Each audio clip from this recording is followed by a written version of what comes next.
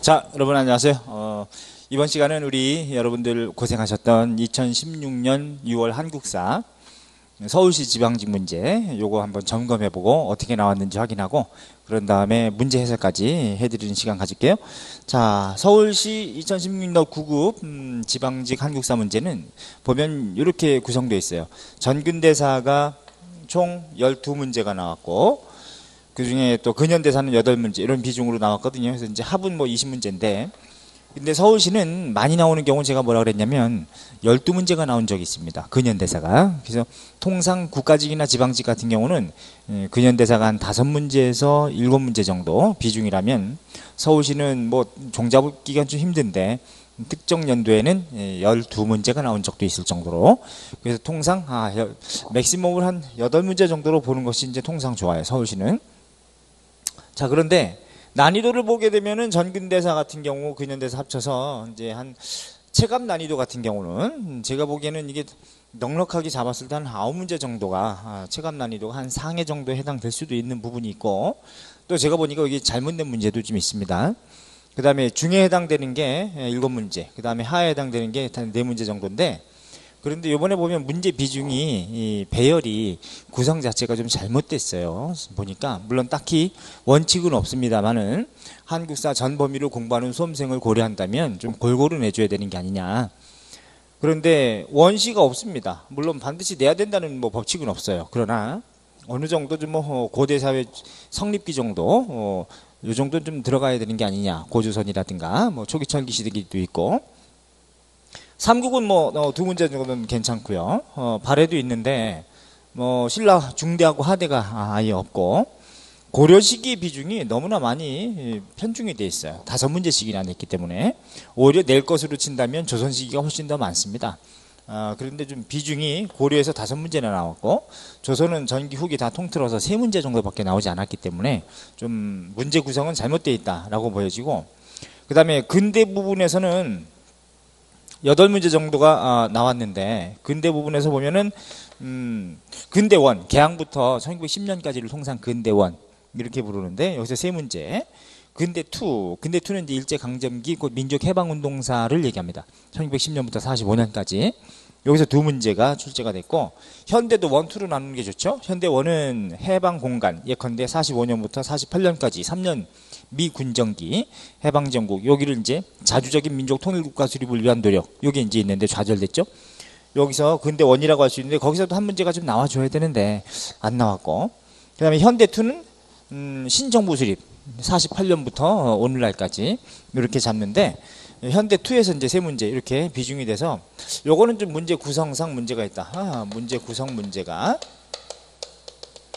있어 보입니다. 그래서 서울시는 좀 지역적으로 내는 경향이 있어요. 일부러 막 아, 공무원 시험은 수능처럼 아주 어, 중핵적인 거, 아주 중요하고 핵심적인 것은 반드시 국민 공통 기본 교육 과정상 알아야 되는 것을 세련되게 정지해서 막 내는 게 아니고 또 여러 출제자들이 들어가고 또 검토위원도 많이 들어가고 그러는데 근데 이 공무원 시험은 누가 들어가느냐에 따라서 좀 달라지는데 제가 보기엔 이거는 이번 서울시 문제는 한 사람이 이제 다 내는 거고 또한 음, 굉장히 노인네가 어, 들어가서 이제 구닥다리로 문제를 시험 문제를 낸 걸로 보입니다.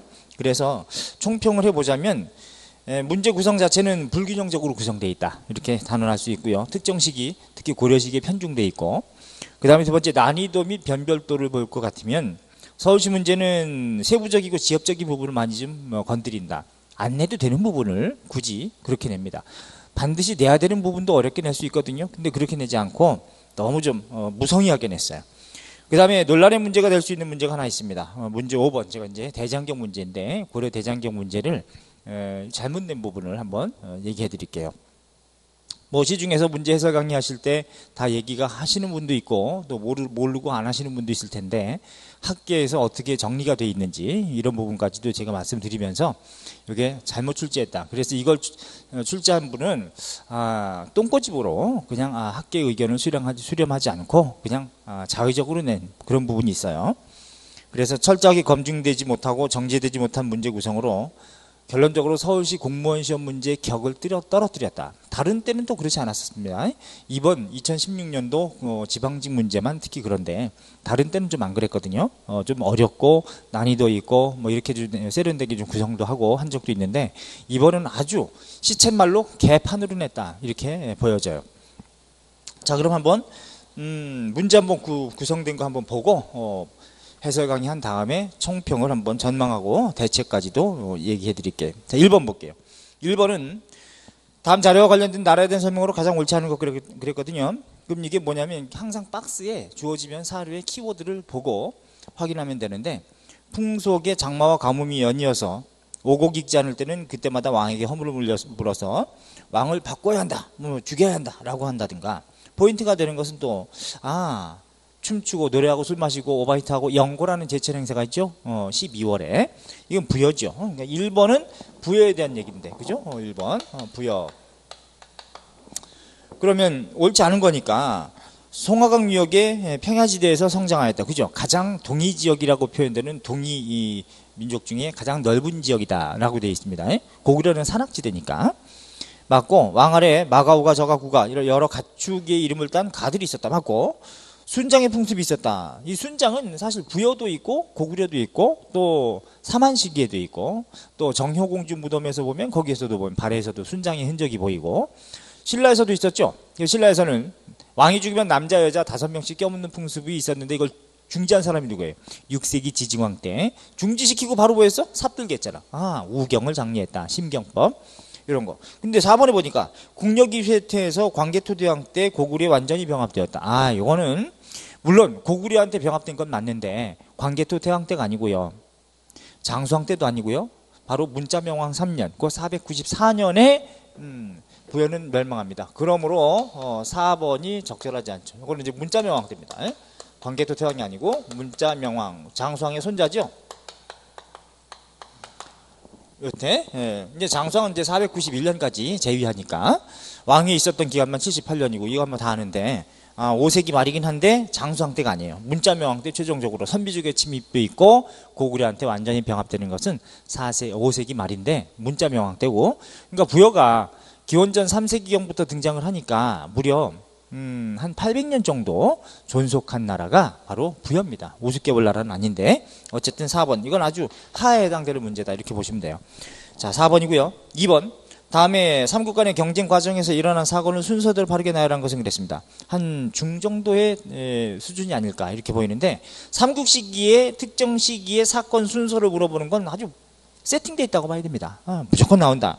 이제 이번 같은 경우는 음, 삼국 시기의 에, 사건 순서, 어, 어, 사건 순서를 물어본 건데 이거 보면은 1번에 보면 가를 보니까 백제 성왕이 관산성 전투에서 전사했다 그렇게 나왔습니다. 그럼 백제 성왕이 관산성 전투에서 전사한 것은 554년. 그러니까 553년까지가 제라 동맹인데 나제 동맹, 혹은 백신 동맹. 433년에 1차 동맹, 493년에 2차 동맹이죠. 1차 동맹은 공수 동맹이고 2차 동맹은 우리가 혼인 동맹이다. 어?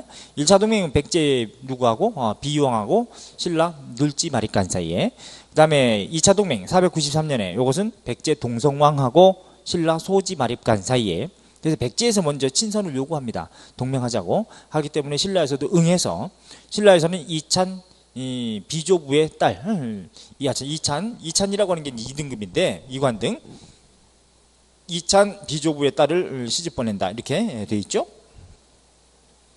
자, 그러니까 혼인 동맹인데 근데 553년도 곧 551년 정도에 진흥왕하고 성왕하고 손잡고 한강 유역을 탈환하죠. 고구려에 몰아내고 그래서 이제 상왕한테 뭐라 그랬냐면 진흥왕이 야 원래 니네 땅이니까 여기를 우리가 같이 차지해가지고 너한테 줄게. 같이 고구려 모- 몰아내자. 해가지고 오케이. 해가지고 싸워서 이겼는데 뺏었는데 성왕한테 뻥쳤죠? 진흥왕이 거기를 차지해버립니다. 그래서 성왕 빡돌지. 시체말로 개빡 도는 거야. 그래서 554년도에 바로 다음 해에 이제 음, 음, 제라 동맹 결렬시키고 신라 쳐들어가는데 관산성 전투 충청북도 옥천 땅에서 여기서 전사해서 이제 패사하고 말죠. 그러니까 이게 간은 554년이란 말이죠. 그죠? 어, 간은 554년의 일이고 나 같은 경우는 몇 년이냐면은 나는 백제 의자왕은 신라 대야성을 함락시켰다. 어우 정말 신라가 빡도는 일이지.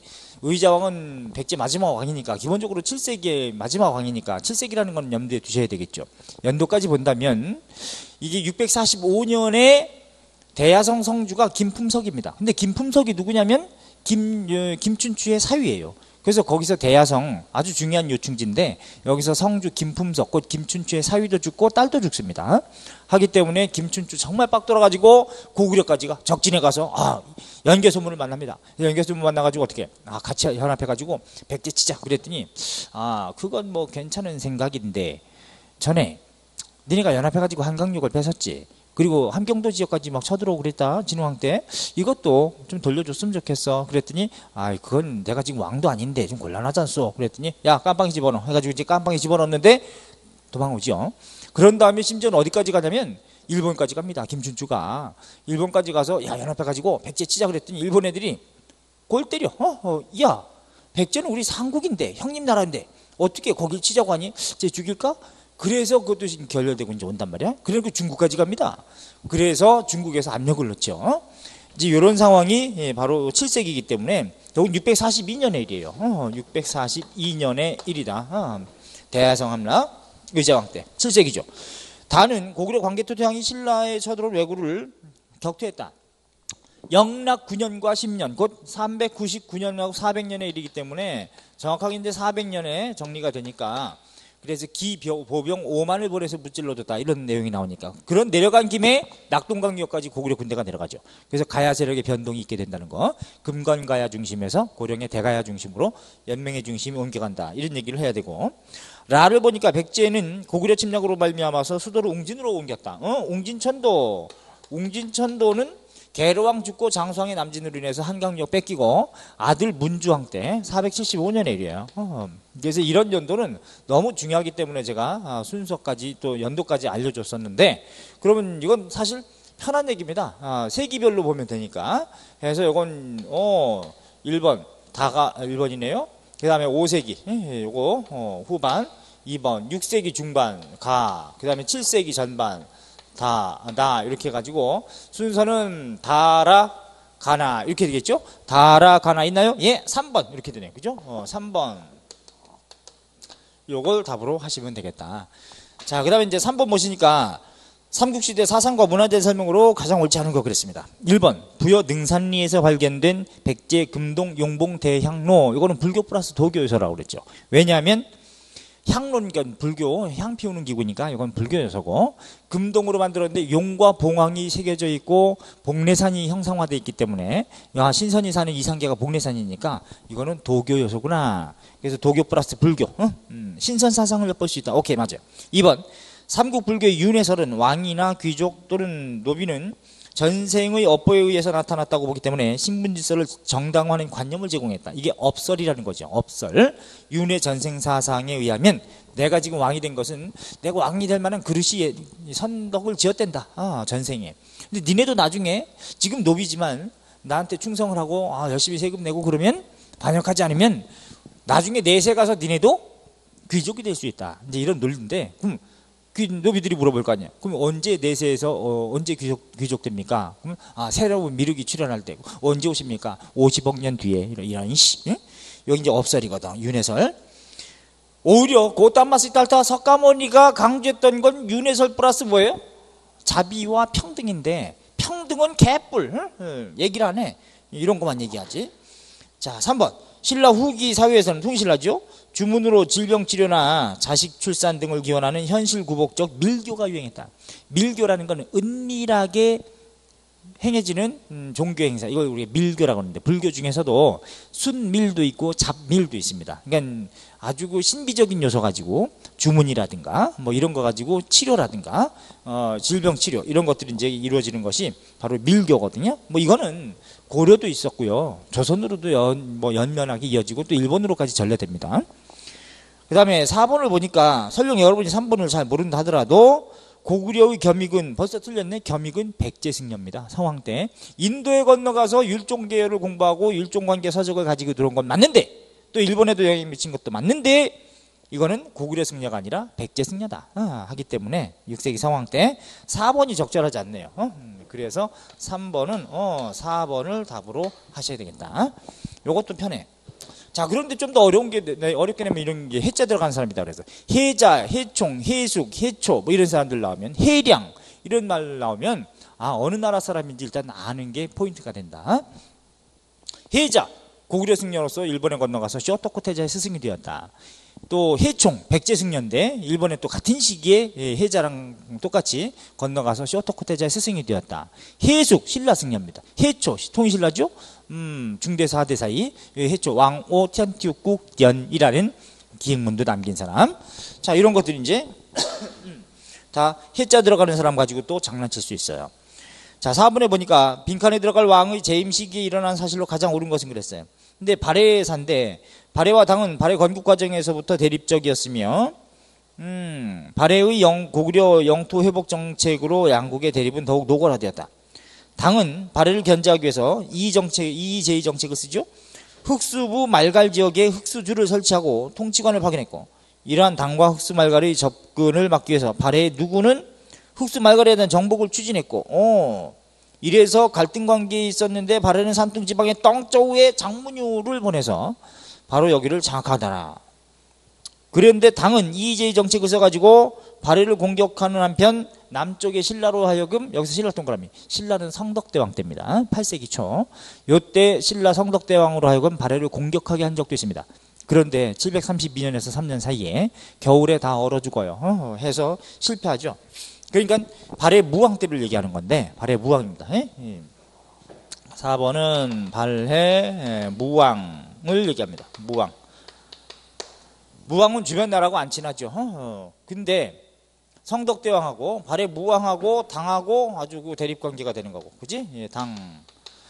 그러니까 일단 선방 때린다고. 어, 당에서는 어, 압력을 넣어 어, 신라한테.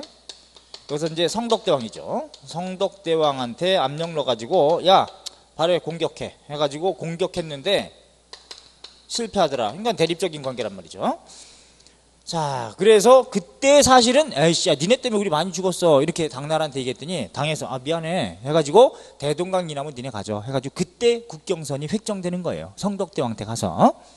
자, 그럼 이제 발해 무왕을 얘기하는 건데 음, 무왕 때. 그럼 1번 볼까요? 삼성육부를 비롯한 중앙 관서를 정비했다. 기본적으로 삼성육부는 당 관제입니다.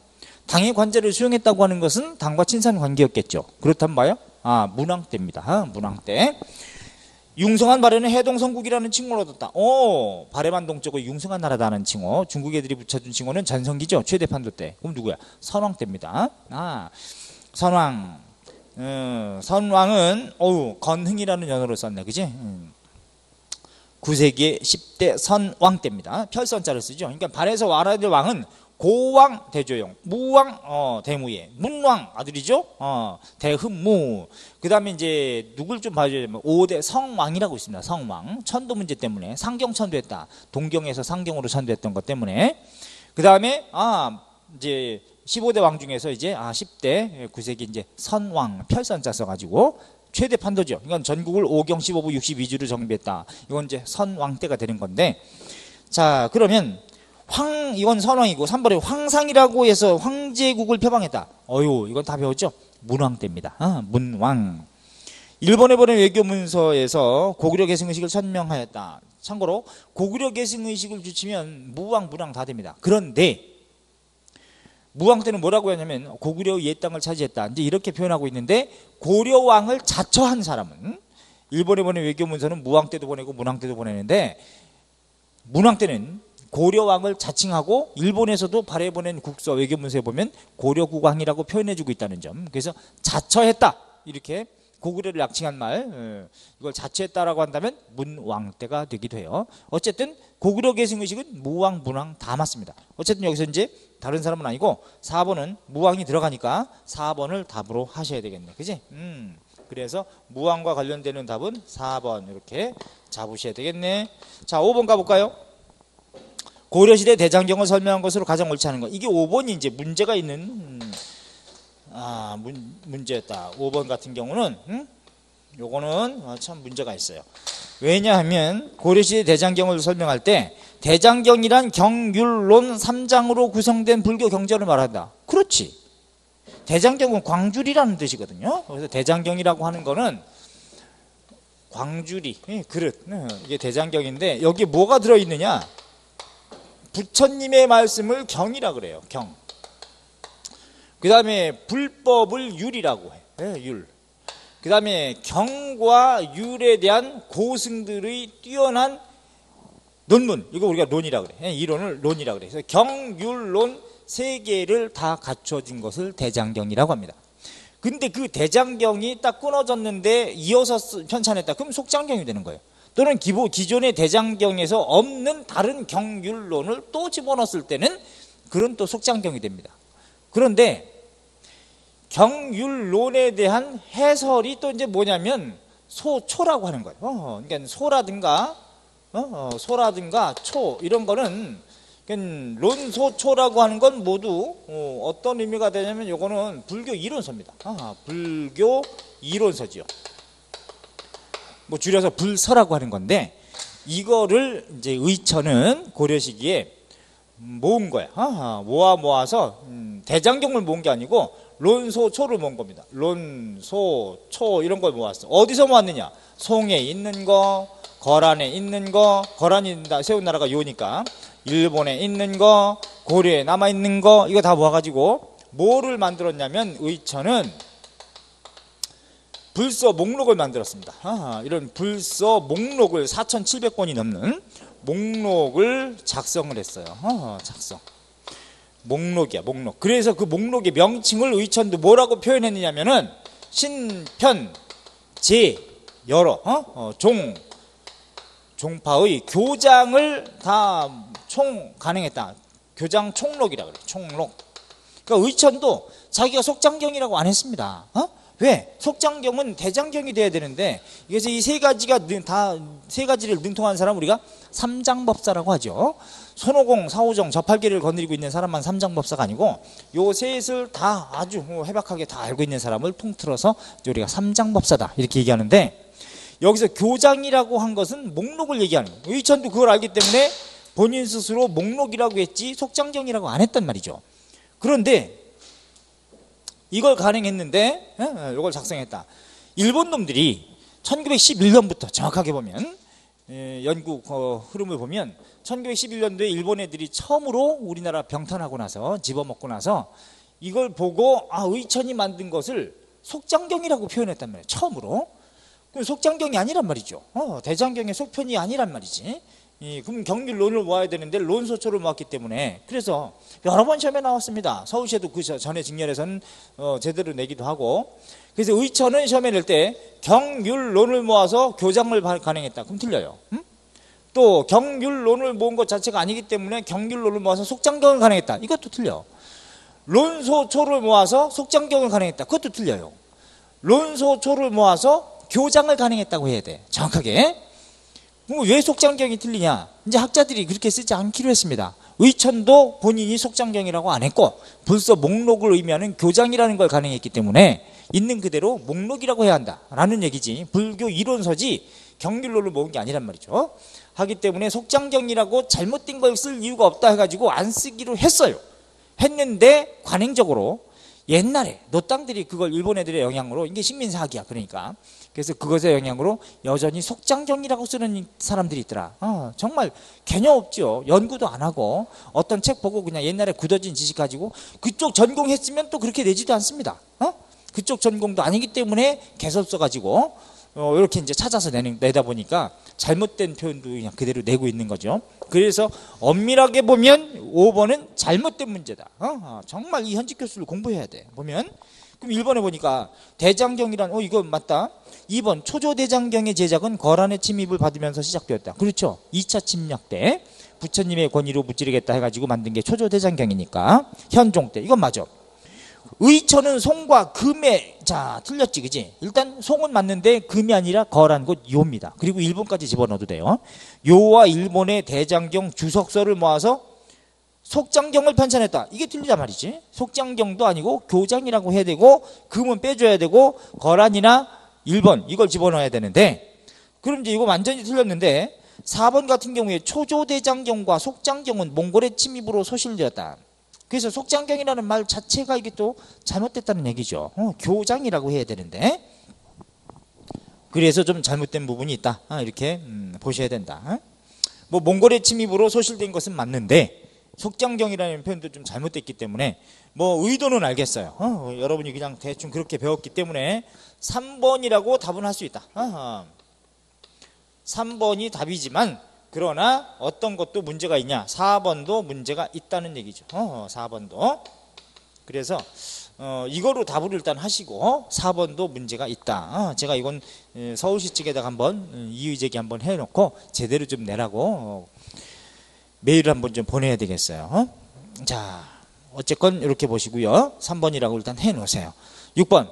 다음 사건을 일어난 순서대로 바르게 나열한 것. 자, 제가 강의 시간에 뭐라고 했냐면 고려 시기에 무신집권기의 사회변동 양상을 만적이 뭐 난을 일으켰다 무신집권기 이건 누구는 모릅니까? 전국에 있는 중딩도 다 알 겁니다. 조금만 공부하면 그런데 무신집권기에 일어난 일들을 순서대로 배치하라. 이게 굉장히 어렵다 그랬습니다. 그래서 제 수업 시간에 됐어요. 망전, 김만, 진밀, 최이 이런 식으로 음, 무신집권기에 아 밀란의 순서를 좀 봐둬라. 사회변동 양상을 이렇게 얘기해 드렸는데 자 여기서 보니까 무신집권기 보면 이게 지금 몇 번이냐면은 어, 6번이 되는데 무신집권기 하면은 집권기 이게 1170년부터 해가지고 1270년이죠 1270년부터 해가지고 딱 100년 1270년 사이인데 무신집권도 어, 성립기 황립기 분계기로 나눈다 그랬습니다 어, 성립기 그 다음에 황립기 황립기는 이제 최씨 무신정권기예요 어? 어. 그 다음에 분계기 이렇게 나눌 때 성립계는 누가 있느냐? 아, 성립기 정중부 그 다음에 경대승 이의민 이런 사람들 있겠죠? 어, 정중부 응? 그 다음에 경대승 이의민 이제 이의민을 제거하는 것이 최충헌이니까. 아, 최충헌. 최우 아들. 최항. 최의. 이렇게 있는데 정중부 때 들고 일으킨 게 뭐냐면 동북면 병마사 김보당이 1173년에 예, 지배층 내에서 난을 일으킵니다. 반무신난이죠. 그러니까 정중부를 반대한 음, 무신 정권을 반대했던 게 바로 어, 동북면 병마사 김보당이 난을 일으킨다. 아, 김보당.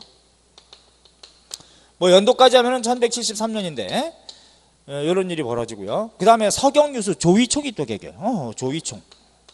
조위총. 이게 다음 해입니다. 1174년이지, 그지? 예, 정중부 때.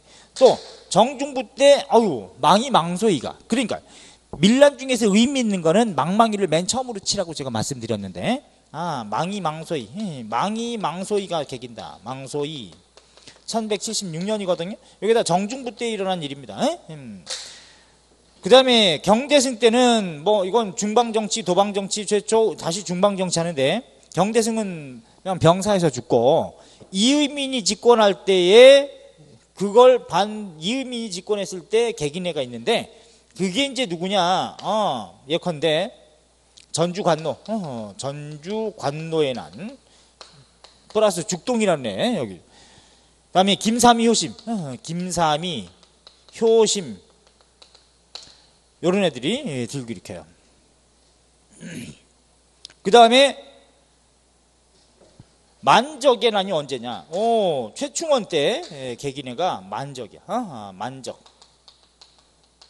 그래서 망전 김 만진주 관노 밀양 관노 밀양 관노 최광수 서경에서 고구려 부흥을 표방하고 그 다음에 이제 최후 단계에서 개기네가 누구냐? 아하, 이연년입니다. 아, 이연년. 백제 부흥을 표방하고 그래서 어 망전 김만 진밀 최이 이렇게 예, 그래서 이 망할년 이런 식으로 생각하라 그랬죠. 맨 처음에가 망이 그다음에 맨 뒤가 이제 이연년 의미 있는 이제 피지배싱의 밀란 중에서는 이렇게 이제 예, 알려드렸기 때문에 이거 이거 굉장히 까다롭다 그랬죠. 자, 그럼 동북면 병마사 김보당이 난을 일으켰다. 이게 정중부 때니까 맨 처음이 되겠죠. 이의민이 권력을 장악했다. 어, 정중부 그다음에 경대승 그다음에 이의민. 경대승 때 일어난 건 없고 이의민이 권력을 장악했다. 어, 그런 다음에 이의민 때 난을 일으킨 게 다죠. 그죠? 김삼효심. 자, 여기 들어가니까 김삼효심. 최광수는 최충원 때 난을 일으킨 거고 도병몽 교정도감을 설치했다. 요거는 최충원이 설치한 권력기구죠. 교정도감. 그러니까 최충원 때 여기 들어가야 되니까 그러면 가나 다라 이런 순서가 되겠네요. 그죠? 요거 굉장히 상에 해당되는 문제다. 제가 그대로 예측한 대로 나왔습니다. 어, 요거 아주 어려운 문제였다. 어? 일부러 틀리게끔 음, 하기 위해서 그 문제까지 제가 어, 알려드렸죠. 어렵게 내면 이렇게 낼 것이다. 순서. 그게 어렵지. 뭐 마- 만적이 난을 일으킨 게 고려시대다. 무신직권기다. 그거는 누구나 다 안다 그랬어요. 자, 그래서 1번으로 보시면 돼. 그래서 6번은 1번 이렇게 예, 잡아 주셔야죠. 어허, 6번 음, 답은 1번 이렇게 가시고 자, 그 다음에 이제 7번 가 볼까요? 어, 7번이 뭐가 나왔냐면은 들고 해 볼게요. 어, 7번에 고려 정치와 사회에 대한 설명으로 가장 옳지 않은 거 그랬습니다. 정치 제도는 삼성 당해 제도 삼성 육부 체제 이걸 참고해서 이성 육부로 정비했다. 그렇죠? 어느 왕 때로 아 독자적으로 운영했죠. 이성 육부 체제. 요거는 이성 체제니까 성종 때. 그 다음에 맞고 지방 제도는 오도 양계 및 경기로 구성됐고 맞죠? 태조 때부터 12목을 설치했다. 이건 아주 하에 해당되는 문제죠. 12목은 성종 때입니다. 그러니까 2번이 틀렸네. 그지? 예, 7번은 아 2번이 적절하지 않다. 성종 때로 고쳐줘야 됩니다. 성종 때는 10도제, 그 다음에 12목 설치.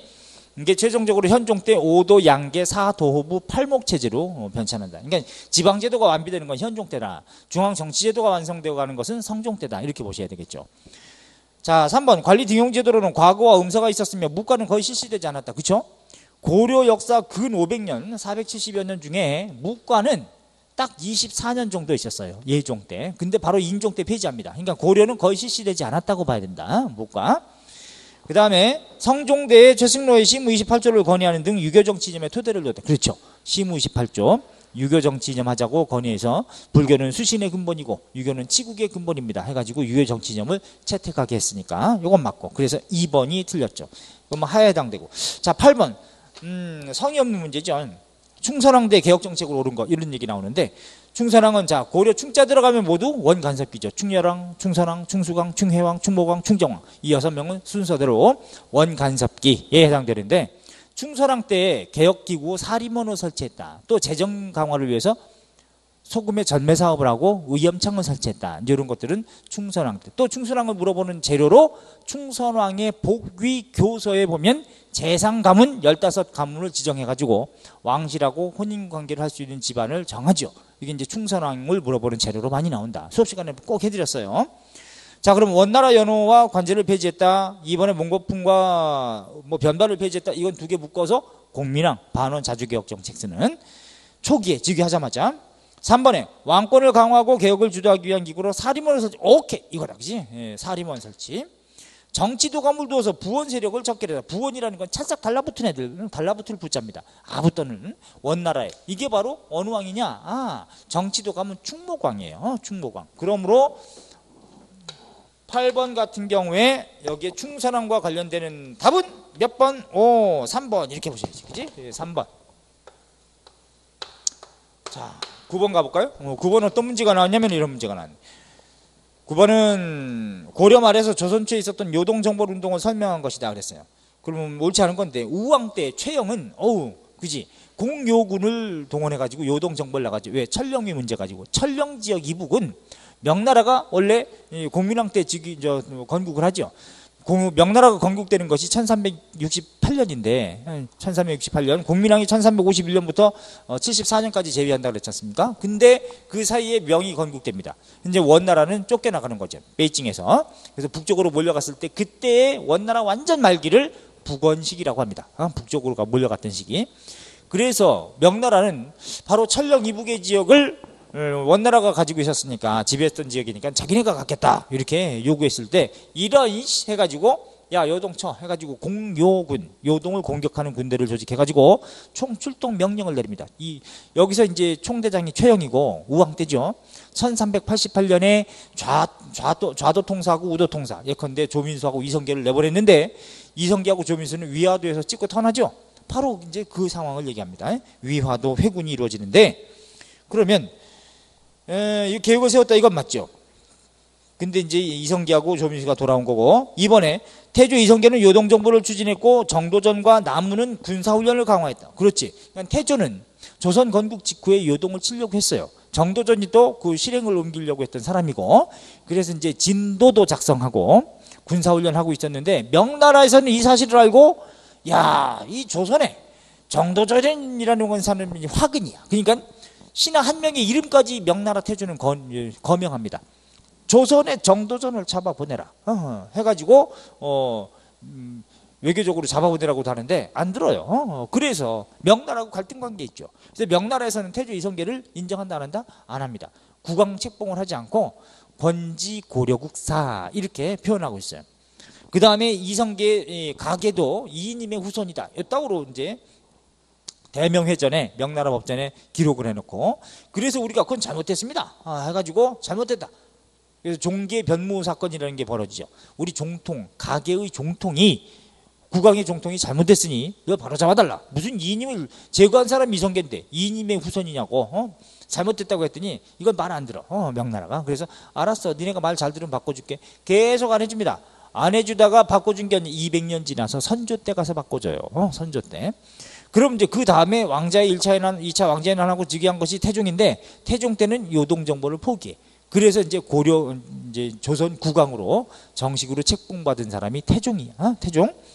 해서 자 3번도 맞고 4번은 이방원은 태조 요동정벌 운동을 적극 지지했다. 아니죠. 어, 오히려 요동정벌의 실행을 담당했던 정도전도 제거했기 때문에 이거는 적절하지 않습니다. 그래서 9번은 4번이 적절하지 않죠. 어, 4번 이렇게 하셔야 될 거고 그 다음에 10번 음, 다음 중 영조대 편찬된 서적을 아 이것도 참 성의 없이 그지 단순한 기사실로 동국 문헌비고 이거 영조 때죠. 그러니까 10번은 뭐 누가 봐도 영조 때 대표적인 한국학 대백과사전 어, 동국 문헌비고. 근데 좀 어렵게 되면 뭐라고 할 것이냐.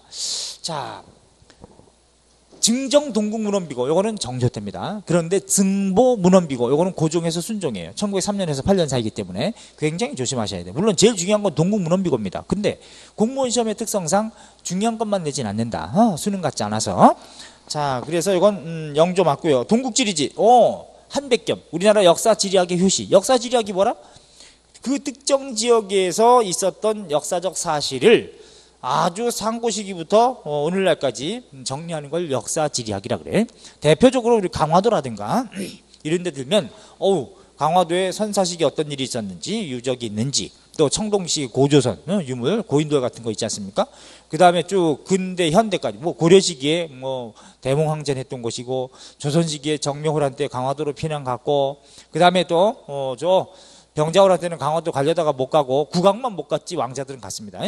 에? 남한산성으로 인조는 갔지만 그 다음에 또 근대 와서는 어우 병인양요, 신미양요 모두 강화도에서 관련된다. 또 강화도 지역이라고 하는 조일소조교 불평등 지역 체제 뭐 이런 것들이 다 어, 그 다음에 또 운요 사건 1875년에 강화도 지역 체결하기 1년 전에 이런 것들이 이제 우리가 정리하는 것을 아 이걸 역사 지리학이라고 하는데 예, 한백겸 이 사람이 지은 광해군 때 역사 지리학의 효시가 되는 게 바로 동국지리지입니다. 아, 17세기 초 자, 1615년에. 그 다음에 동사강목. 어, 이 동사강목은 안정복이 지은 책인데, 고조선부터 고려 말까지.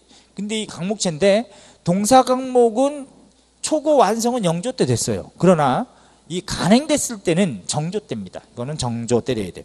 동의보감. 어유 이거 세계 기록유산이죠. 이 동의보감은 광해군 때 허준이라고 하는 사람이 이제 편찬한 거고, 왕명을 받들어서 시작은 선조 때 했었습니다. 선조 때 임진왜란 중에 시작했었는데, 정유재란 중에 그런데 완성시키지 못해가지고 신하의 탄핵을 받아가지고 함경도로 유배당해요.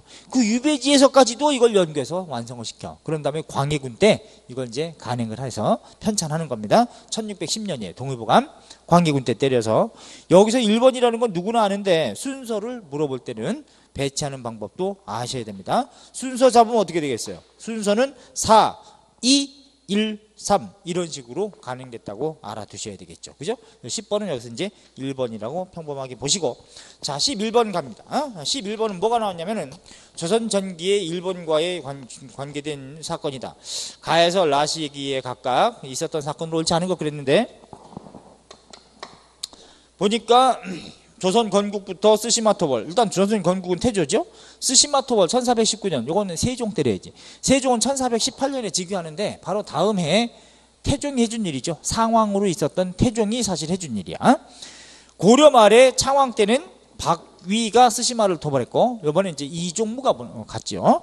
그 다음에 세종 삼포외란 오 삼포외란은 1510년 중종 때죠. 그래서 이제 부산포, 제포, 연포를 이미 삼포 개항은 세종 때 1426년인데 여기서 난을 일으킨 게 이제 중종 때 이제 비변사 임시기구로 설치가 되고 명종 때는 을묘 외변이 또 터집니다. 1555년 그리고 비변사가 상설기구가 된 다음에 국교도 일시 단절됐다가 바로 1592년에 임진왜란 터지죠. 선조 때죠. 자 그러면 가 1번 볼까요? 부산포, 제포, 연포 등 3포를 개항했다. 이건 1426년 세종 때입니다. 그러니까 세종 때 중에서도 1426년이기 때문에 나로 고쳐야 되겠네요. 그죠? 그냥 틀렸네. 어, 가를 나로 고쳐야 되고 2번 나시기에 계약조를 체결해서 스시마 도주에 제한적인 무역을 허락했다. 어? 1443년도 한글이 창제되는 그 훈민정음이 창제, 창제되는 그 해의 개해년인데 약조를 맺어요. 세견선, 세사미들을 정한 조치를 얘기하죠. 그러니까 요거는 1443년이니까 나시기에 들어가죠. 이건 맞습니다. 단 줄치고 스시마 도주라는 거 줄치세요. 일본 막부 정권 아닙니다. 어, 스시마 도주와 체결한 겁니다. 어? 3번에 다 외선이 침입해서 을묘 외변을 일으켰다. 다시기에. 그렇죠. 1555년 명종 때니까. 그래서 비변사 상설기구가 된다 그랬고 4번에 라시기 임진왜란 이후인데 조선은 포로의 성환 교섭을 위해서 일본의 사신을 파견했다. 이게 바로 이제 선조 거의 끄트머리. 선, 선조가 1608년에 죽는데 그 죽기 1년 전인 1607년에 회답 겸 쇠환사라 그래가지고 어 다시 이제 쇠환사. 그러니까 그때 1598년도 임진왜란 끝에 1598년도에 음, 이또 히로부미 그 개세가 죽습니다. 그런데 전쟁 끝나죠 일단. 음, 그때 물론 이순신 장군도 노량에서 전사하시지만 그런데 그 뒤에 이제 광해군이 즉위를 하기 전에 선조가 10년 더 살아. 어? 1608년에 죽, 으니까 그 죽기 1년 전인 1607년도에 사명대사 유정이 갑니다. 어? 일본에서 이제 막부 정권이 바뀌었죠. 도쿠가와 이에야스라고 에도 막부를 열어. 에도에다가 다시 또 군부 정권을 열었는데 사무라이 우사 정권을 열었는데 그래가지고 걔네가 다시 또 국교 간청을 요청합니다. 그랬을 때 이제 선조는 회답 겸 세환사라 그래가지고 사명대사 포로 송환을 위해서 어, 보냈죠. 그래서 어 이것도 어, 임진왜란 이후기 때문에 가능은 하다. 그래서 1번, 11번은 1번이 적절하지 않다. 이렇게 예, 봐야지. 그지? 음. 자, 12번은 다음 가에서 다의 설명에 해당하는 인물을 바르게 연결한 것은 그랬습니다. 가를 보니까 뭐라고 돼 있어요? 스승 이벽의 권위로 북경에 갔다가 서양인 신부의 세례를 받고 귀국하였다. 어, 한국인 최초 세례 교인이 누구다? 아, 이승훈이다. 어? 이승훈. 근데 이승훈은 언제 죽냐면 1801년 신유박해 때 죽습니다. 아, 이승훈. 그 다음에 나는 성리학의 입장에서 천주교를 비판하는 천학문답을 저술하였다. 안정복이죠. 안정복은 남인이긴 한데 공섭합니다. 서학에 대해서는 공격적인 사람. 어, 그러니까 굉장히 보수적이고 성리학적 가치를 지키려고 하는 사람이 바로 안정복이에요. 그러니까 이익의 제자 중에 문인 중에 안정복이라고 하는 사람이 성호 우파입니다. 성호 이익의 보수 세력. 음, 반면에 얘네는 이제 공섭파가 되는 거고 서학을 공격하고 이게 제 문인 중에 이게 음, 좌파가 있어요. 성호 좌파. 이 진보 세력입니다. 서학을 수용하는 세력을 우리가 신서파라 그러지. 믿을 신자. 정약용, 이가환, 뭐 이벽, 권철씨 모두 이제 그쪽 성호 좌파에 해당됩니다. 에? 근데 오히려 안정복은 같은 남인계지만은 서학을 믿는 세력, 신서파를 겁나게 공격하는 공서파 입장에 들어서 있다. 어? 그래서 천황문답 안정복입니다. 다를 보니까 신부가 되어서 충청도 당진, 그 솔매를 근거로 포기하다가 붙잡혀 처형됐다. 아, 한국인 최초의 세례 신부는 누구? 세례 교인은 뭐 그 자리 이승훈이었지만 신부가 된 사람 김대건 안드레아 신부죠. 어, 김대건. 그래서 김대건 신부가 죽은 게 바로 아 병호박해 때 1846년 철종 때 이때 김대건 신부가 죽죠. 자 그래서 여기서 보면은 이승훈 안정복 김대건 이렇게 해야 됩니다. 그러면 이가환 이게 손자입니다. 아, 이게 손자. 그 다음에 황사영. 황사영도 언제 죽냐면은 1801년 신유박해 때 죽어요. 황사영이 신유박해의 사실을 밀고 하려고 깨알같이 쓴 글씨, 그 글이 황사영 백서라고 하는 건데, 아주 비단에다가 겁나게 작은 것으로 뭐 음, 많이 써서 보내다가 북경 어, 주기에다가 전달하려다가 걸리죠. 그래서 처형당하는데 그 황사영 백서는 지금도 로마 교황청에 예, 남아 있다. 신유박해 때 죽어요. 1801년. 그 다음에 이기경이라는 사람이 또 이번에 나오는데 이기경이라는 사람은 정조 때 남인이긴 한데 정약용하고도 친하긴 했었는데 서학에 대해서는 공격하는 공섭합니다. 아, 그러니까 예, 안정복하고 비슷한 사람이죠. 이기경. 모르더라도 답을 찾는 데는 문제가 없을 것이다. 아, 이렇게 보셔서 답은 3번, 12번, 어, 3번이라고 보셔야 됩니다. 예, 12번. 이렇게 잡으시고 참고로 천주교 박해와 관련해 가지고는 이렇게 좀 알아두 그죠? 어, 천주교 박해. 어. 천주교 박해 사건 하면 일단 가장 먼저는 어, 정조 때를 떠올려야 됩니다. 정조 때는 세 가지가 있었습니다. 첫째, 아 추조 적발 사건이라고 하는 거예요. 추조 적발 사건. 음, 적발 사건. 추조라고 하는 거는 형조죠. 형조. 육조 중에 별칭이지. 육조는 천, 2호 예병 형 공조가 있는데 별명이 있는 게 순서대로 또 천지, 춘, 추, 춘하, 추동 이제 이렇게. 음, 그래서 어, 형조를 얘기합니다. 추조 적발 사건. 추조에서 곧 형조에서 적발한 사건. 1785년도 어? 일명 명례방 사건이라 그래. 예, 명동 명례방 명동에 어? 김범우 집에서 김범우 집에서 천주교 교리 공부하고 미사 예식 거행하다가 형주에서 적발한 사건. 여기에 보니까 정조가 이뻐하는 애들 다 있네. 정약용이라든가 이런. 그래서 어, 너 새끼들 똑바로 안 하냐? 그래서 이제 훈방 조치 정도 어, 했어요. 그 다음에 두 번째 반회 사건이라는 것도 있습니다. 반회 사건이라 그래 가지고 이 성균관대학교 근처 반촌이라 그래 거기 반촌에서 모여서 또 교리 공부하고 했던 사건이 반회 사건입니다. 1800 1787년 2년 뒤에요. 다 정조 때입니다. 여기는 김석대라고 하는 애 집에서 김석대 집에서 어, 교리 공부하다가 또 걸려. 그래서 정약용 겁나게 반성 못 씁니다. 어? 그 다음에 세 번째로 그럼 정약용은 어떤 입장이냐? 정약용은 사학을 학문적으로 공부했을 뿐 신앙으로 믿지 않습니다. 라고 해서 이제 정조한테 반성문 쓰죠. 자, 그런 다음에 세 번째는 음, 진산 사건이라는 게 있네. 이게 우리가 신해 박해입니다. 아, 신해년에 터져서 신해 박해 이렇게 얘기하는 거지. 1791년 정조 15년 오 신해년이면은 우리가 아, 신해 통공 곧 시전상인의 유구이전을 제외한 모든 금난 전권을 철폐하는 조치가 있었던 그 해입니다. 1791년 정조 15년에 어, 이걸 진산 사건이라고 한다. 어, 진산 전라도 진산 지역에서 진산 어? 음, 진산 사건.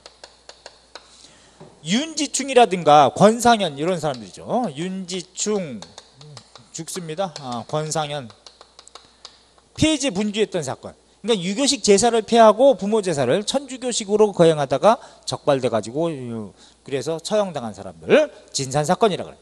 그 다음에 두 번째 이제 정조가 1800년에 죽는데 바로 1801년에 정조 친위 세력을 타도하기 위해서 정치적으로 박해 사건이 터져. 남인들을 이제 대거 처단하기 위해서. 정조 친위 세력이 이제 남인이었기 때문에 근기 남인 경기도 근처의 남인 순조 때 터지는 것이 바로 신유박해입니다. 어? 신유박해. 1801년. 그래서 신유박해에 의해서 어유 정약용 정약전 유백하고 어, 정약용 정약전 형이죠. 어, 정약전. 정약전은 흑산도로, 동생 정약용은 강진으로 최종적으로 어, 정배가 되고 위배라는 뜻이야. 그 다음에 이승훈이라든가 뭐, 뭐 이런 사람들, 뭐 이벽, 권철신 다 죽어요. 어, 권철신. 그 다음에 황사영 다 죽어. 어, 황사영. 근데 정약용, 정약전은 이제 유배죠. 어, 유배. 이때 죽은 건 아니고 자, 그 다음에 세 번째, 헌종. 어, 헌종. 순조가 1801년부터 1834년까지가 순조 재위 기간이고 1834년부터 1849년까지가 헌종 재위 기간인데 어, 요때 있었던 일이 다섯 번째. 신신기병병 이렇게 때리세요. 어, 어, 기유박해가 있습니다. 어, 기유박해. 1839년도에 이 기후박해 때는 누가 피해를 당하느냐? 오, 이때는 정하상. 상재상설을 쓰고 정하상이 이제 죽고 그 다음에 정부는 척사윤음도 내렸던 때입니다. 사악한 것을 배척한다는 왕명이야. 척사윤음도 반포하고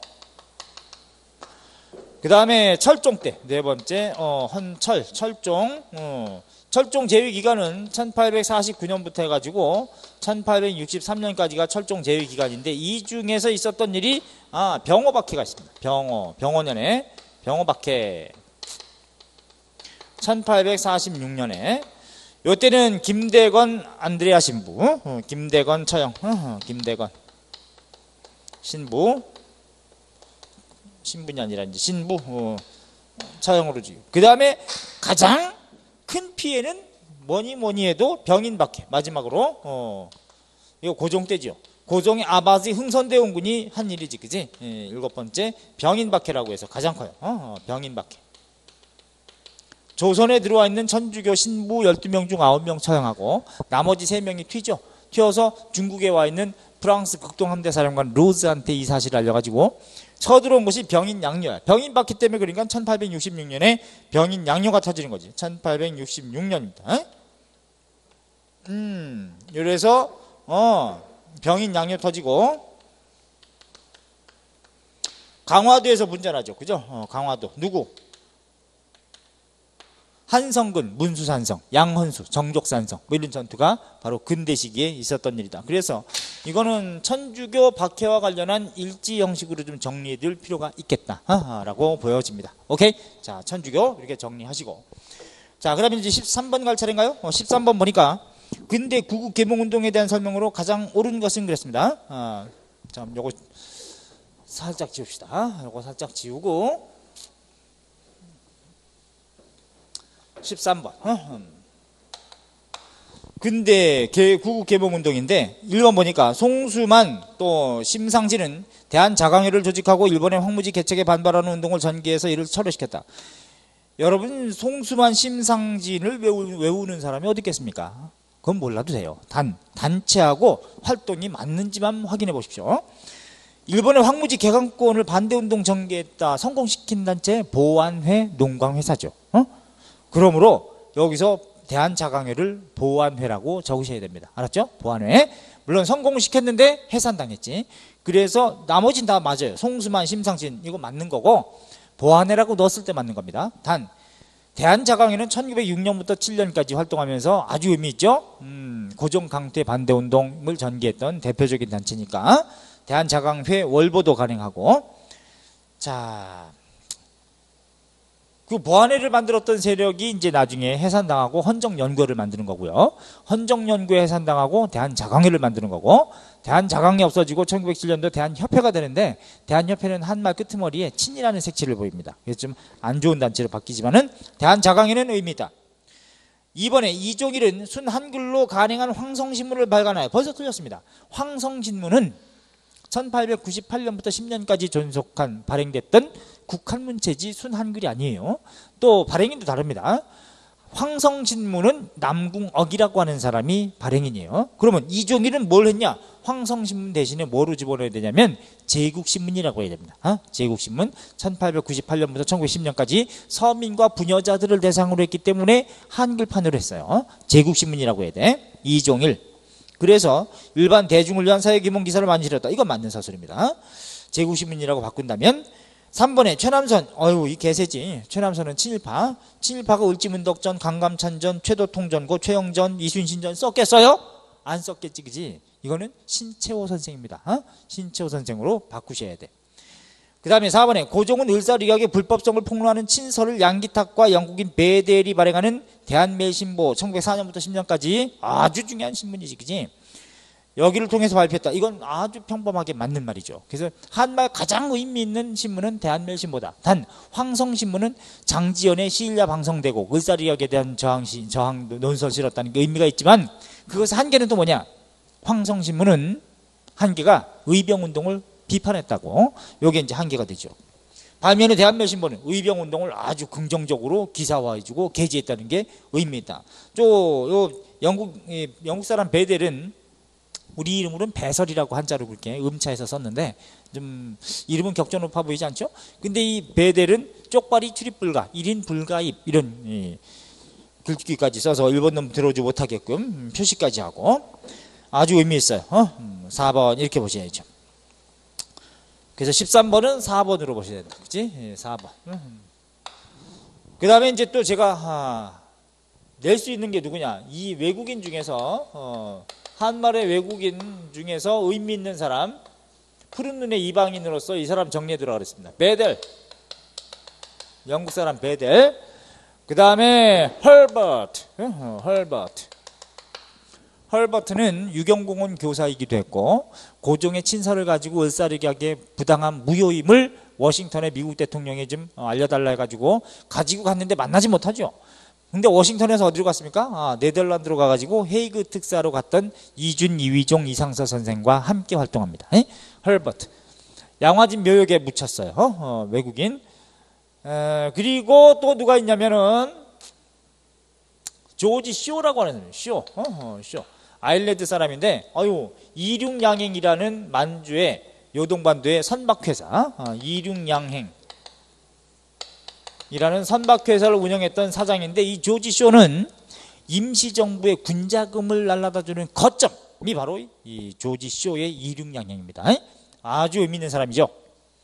그 다음에 또 누구? 어, 네, 아주 제가 출제한다면 요 사람도 어, 석호필이라고 하는 스커필드 박사. 어? 스커필드. 어? 우리 이름 석호필이라고. 어?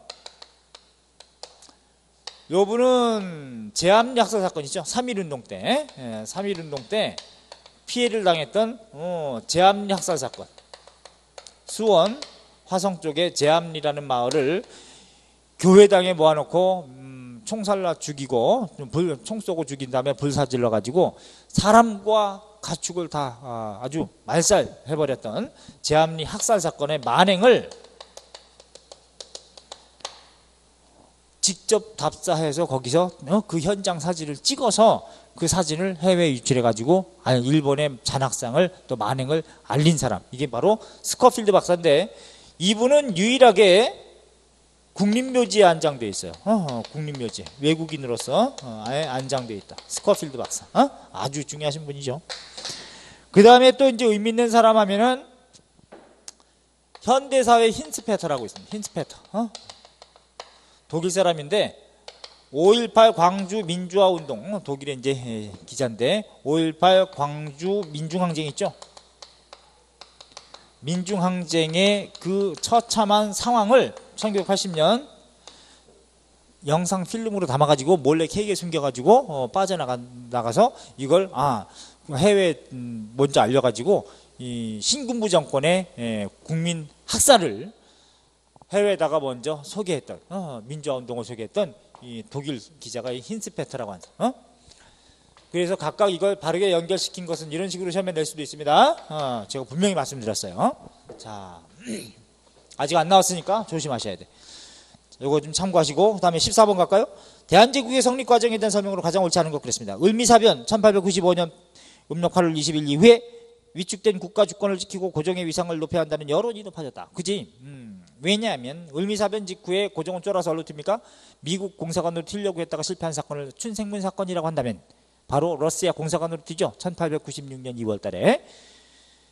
고종은 러시아 공사관에 있는 동안 경운궁을 증축하고 97년에 1년 만에 돌아오죠. 어? 오늘날 덕수궁이라고도 이제 불렸던 덕수궁은 덕수라는 1907년도에 고종을 강제 퇴위시키고 순종을 쪽발이가 즉위시킨다고. 어? 그런 다음에 고종이 나앉아 있으면서 불렸던 궁호가 덕수궁이라고 이름 붙여진 겁니다. 비운의 궁궐이죠. 원래는 경운궁인데.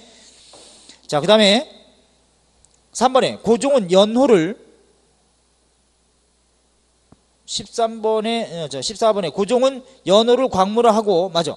경운궁에서 황제 즉위식을 거행했다. 아니에요. 경운궁으로 옮긴 거고, 황제 즉위식은 환구단이라 그래. 환구단. 원래 옛날에 천원지방이라 그래가지고 하늘은 둥그렇고 땅은 평평하다 해가지고 하늘에 제사 지는 재단을 원구단이라고도 썼으나 고종실록에 보니까 환구단이라는 표현이 있기 때문에 그러면 환구단이라고 하자라고 정한, 정한 겁니다. 학자들이 그래서 환구단이라 그래. 그러니까 제천단입니다. 하늘에 황제 즉위식을 거행하는 이제 신고를 알리는 의식을 거행했던 곳은 환구단이라 그래야 돼. 14번.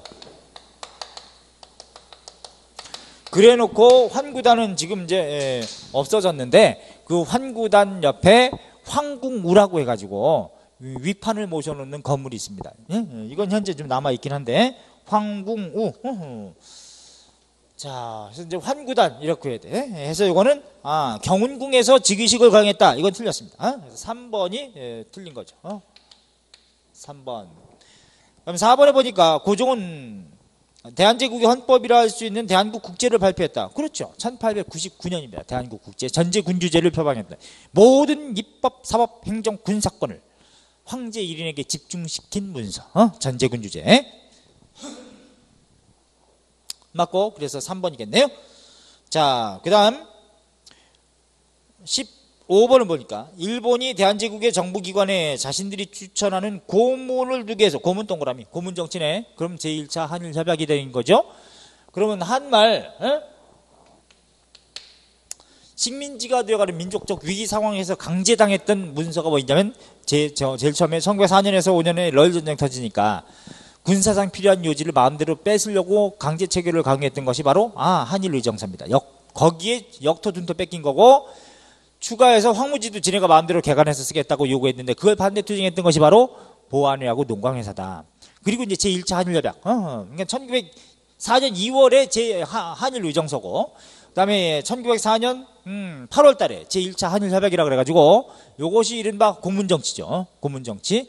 그러니까 일본인이 추천하는 외교와 재정 분야의 고문을 어, 두어 가지고 아, 내정 간섭한다는 얘기죠. 외교 고문으로 놈이 누구야? 미국 놈 스티븐스. 그 다음에 재정 고문으로 온 놈이 일본 놈 메가다. 그 메가다가 1905년 됐던 게 화폐 정리 사업이죠. 조선인 화폐 작살나서 다 뺏겼고, 어? 갑을 병종으로 이제 구분해가지고 등급 매겨가지고 어, 다 안 바꿔주고 폐기 처분하고 또 병종에 해당되는 것은 폐기 처분이고 어, 을종에 해당되는 것은 반띵도 안 해주고 갑종에 해당되는 것만 액면가로 주는데 이것도 시험에 나온 적 있습니다. 다 액면가로 바꿔줬다. 땡 틀려. 조금 헐었다. 그러면 이제 지네가 평가하는 겁니다. 일본 놈들은 들어와 있는 애들은 미리 화폐 정리 사업하기 전에 액면가로 다 바꿨는데 조선인은 바꾸러 갔더니 이거 웬다 폐기 처분. 어, 웬만해선 해가지고 조선인 화폐 자산을 약탈한 게 바로 아 메가다이 개세고. 그 다음에 이 스티븐스 미국 놈은 을사리 격을 아주 베리고 나이스풀 원더풀 이러고, 이러고 떠벌리고 다니다가 1908년도에 샌프란시스코 기차역에서 누구한테 처단당합니까? 아 전명훈 장윤환 의사한테 처단당하죠. 어? 쨌거나 어, 이건 뭐 제1차 한일협약에 해당되는 거고 그런 다음에 답은 그러니까 뭐겠어요. 고문이니까 아 2번이 되겠네. 그지? 15번은 2번이 바로 해당되는데 그런 다음에 제2차 한일협약이라고 우리가 이름도 그렇게 쓰면 안 돼. 을사늑약일 뿐이거든. 을사늑약이다 해야 돼. 왜냐하면 거기 문서에 명칭도 없어요. 타이틀도 어, 을사늑약은 그래서 을사보호조약 뭐 이런 식으로 불러도 안 되고 사실은 일본 애들이 그렇게 부른 것 뿐이지 그건 공식적인 명칭이 없습니다. 어, 문서상에. 그러니까 우리는 을사늑약, 늑약이라는 것은 강제당할 늑자예요. 어. 그래서 을사늑약이라고 해야 돼. 외교권 강탈 통감부 설치. 1905년 11월 17일인데 양력으로 그럼 1904년도 8월하고 1905년 어, 을사늑약 사이에 1905년도에 을사늑약 사이에 7, 8, 9월 달에 있어야 되는 사건이 있습니다. 가쓰라 태프트 밀약 7월 제2차 영일동맹 8월, 포츠머스 조약 9월. 그런 다음에 다른 나라 강대국하고 조선과 관련된 다른 나라들하고 정지 작업을 다 한 다음에 쪽발이는 11월 달에 뭐? 을사늑약, 외교권 강탈, 통감부 설치 이걸 강요하는 거예요. 오케이. 그리고 이것에 대한 항의로 고종이 헤이그의 밀사를 파견했는데 이준 이위종 이상설 1907년 이걸 구실로 고종을 강제 퇴위시켜 1907년 7월 달에 그리고 순사상 한일 신협약을 강제합니다. 차관 정치죠.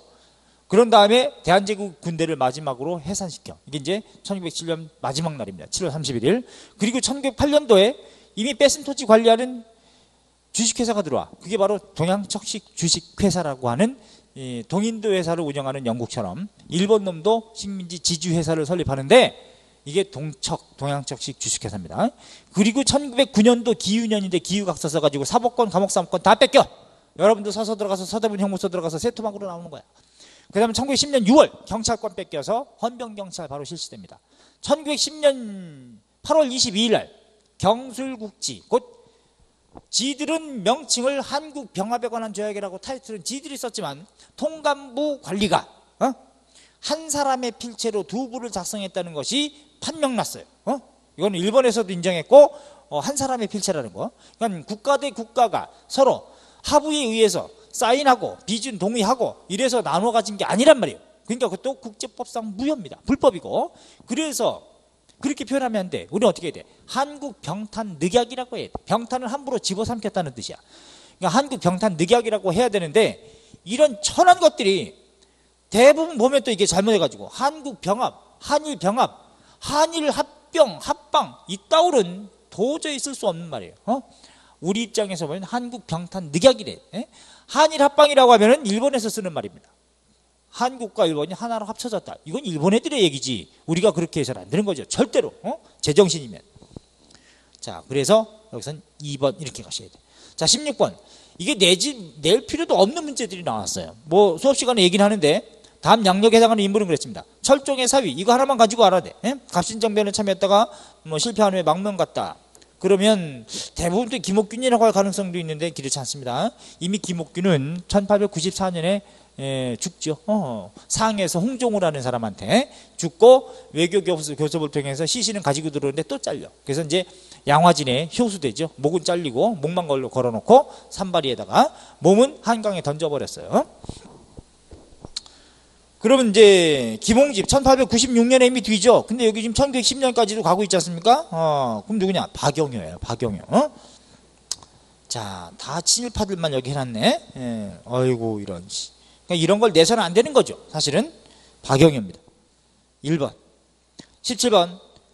자, 16번은 그러니까 1번이 되는 거고. 17번은 대한민국 정부 수립 이후에 일어난 사건을 보기에서 모두 골라라. 어, 대한민국 정부 수립은 신정부죠 말하자면 1948년 8월 15일 날 출범했으니까 물론 우리나라의 건국은 언제라? 1919년 4월 11일이라고 해야 돼. 임시정부는 그때 건국됐으니까. 그럼 1948년도에 대한민국은 뭐냐? 신정부라고 해야 됩니다. 신정부. 음, 건국이 아니고요. 그러면 반민족 행위 처벌 특별조사위원회가 설치되었다. 어, 기억은 어, 어 기억은 반민특위 48년도 9월 재헌 국회에서 어, 만든 거니까 이건 들어가죠. 그 다음에 니은은 니은은 뭐냐? 니은은 예컨대 농지기억법을 시행했다. 어, 49년에 법을 만들었어요. 어, 법을 만들었고 나중에 50년 3월부터 해가지고 57년에 종료하거든요. 어쨌든 니은도 맞다. 그지? 농지기억, 유상매, 유상분배, 삼정보 상한선, 단, 살림, 간척지, 과수원은 제외시켰다는 한계가 있다. 왜? 지주가 로비에서.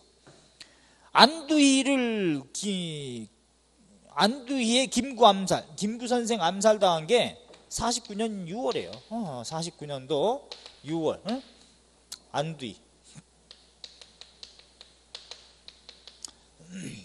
김구 선생, 김구 선생을 암살했는데, 근데 이 개세가, 어, 안두희, 이 개새가 살아 있어가지고 이 안두희가 현지 군인 출신이었고 그 다음에 미군 방첩대 소속이었어요. 그러니까 김구 선생을 암살하는데 그 당시 미군 이뭐 어, 직접 시켰는지 그건 모르겠으나 미군 백 믿고 얘네가 했다는 얘기죠. 말하자면 자 안두희를 근데 처단시킨 게 누구냐? 어? 어, 어.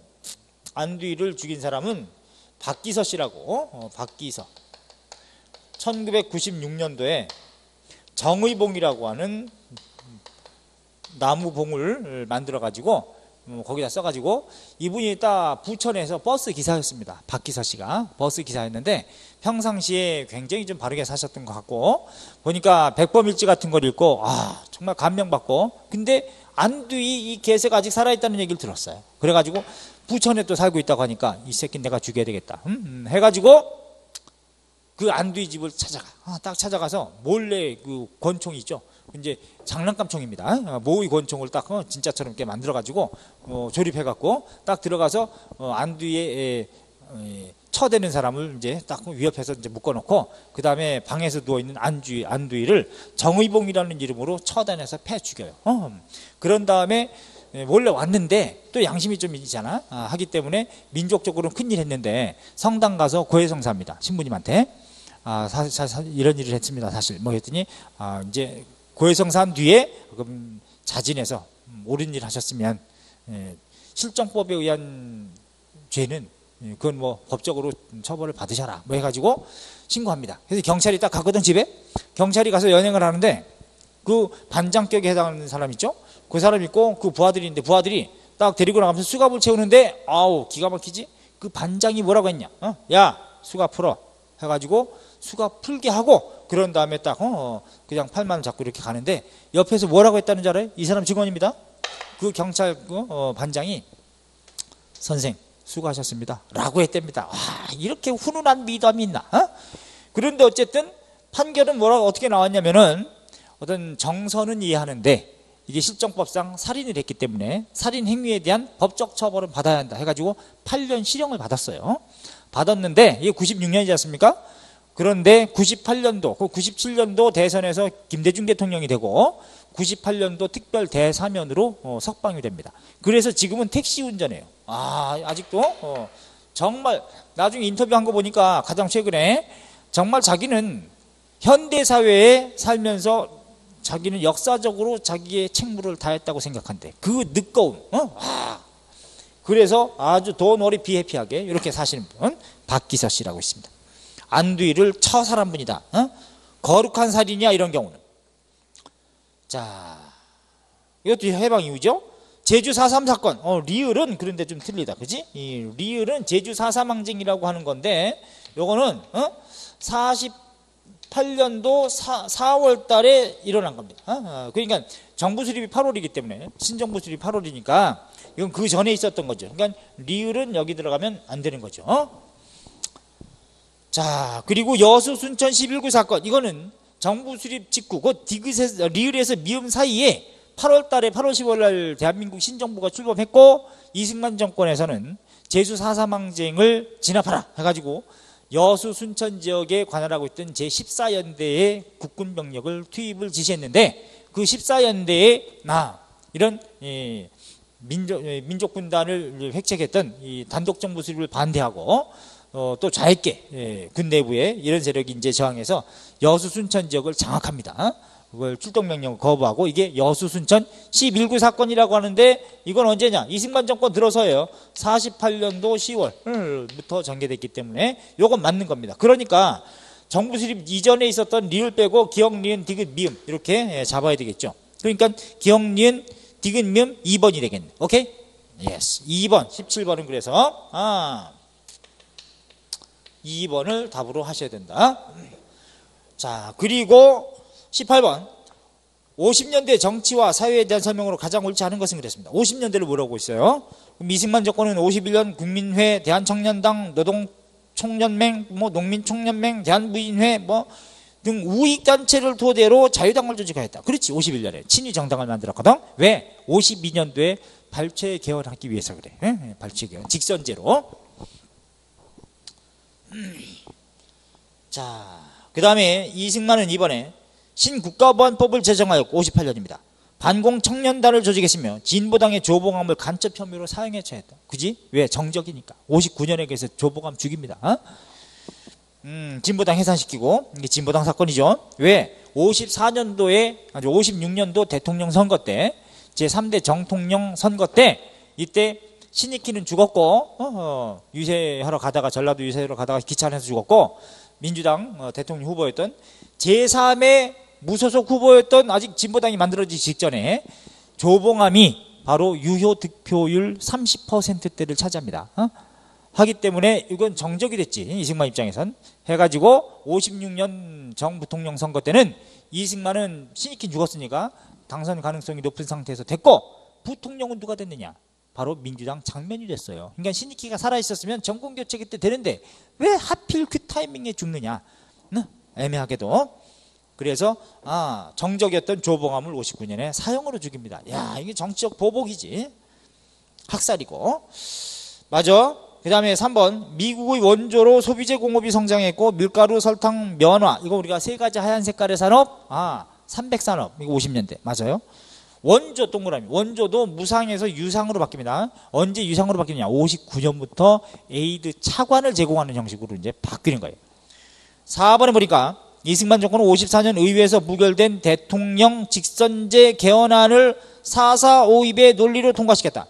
이승만이 54년도 4.4.5입 개헌안을 통과시킨 건 맞는데 예? 이승만 정권 하에서 이때 의회에서 대통령 직선제 개헌안이 아니고 이때 이미 대통령 직선제는 52년도에 있었어요. 8체 개헌 때. 그럼 이제 음, 18번에 4.4.5입 개헌이라는 게 뭐냐면 이승만 중임 제한 철폐. 예. 초대 대통령에 한해서는 초대 대통령에 한해서는 이게 이제 54년도 어, 4.4.5입 개헌이다라고 하는 거는 뭐냐면 개헌안 개헌 이거 이제 변칙 통과시킨 거는 초대 대통령에 한해서 원래 두 번까지 하면 그 다음은 못하게 돼 있는데 중임은 당선되면 한다 하더라도 그러면 48년 됐죠? 그 다음에 52년 됐죠? 그러면 이제 56년 대통령 선거에는 못 나와야 되는데 근데 나오고 싶어가지고 어, 규정을 바꾼 거야.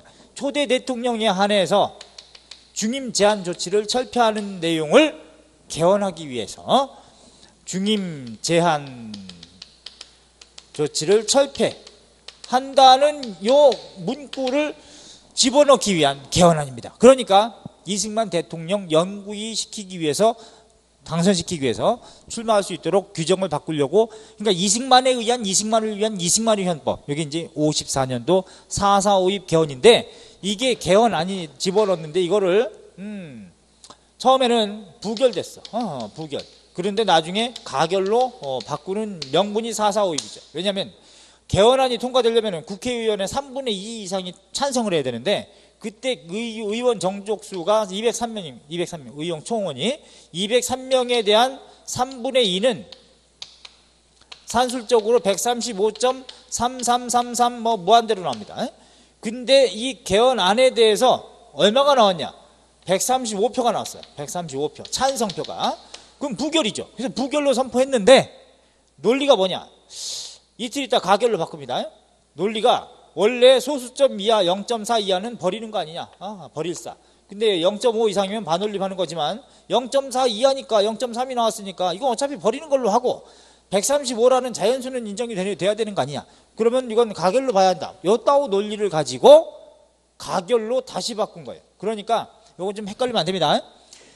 뒤에 있는 내용 맞아요. 이승만 정권은 54년 의회에서 445입의 개헌, 445입의 논리로 통과시켰다. 이 말은 맞는데, 개, 대통령 직선제 개헌안이라는 말이 틀려요. 대통령 직선제 개헌안이 아니고 이미 52년에 직선제였고, 그 다음에 이거는 중임 제한 조치를 철폐하는 이 내용입니다. 그래서 4번이 적절하지 않다라고 봐요. 알았지? 네, 4번.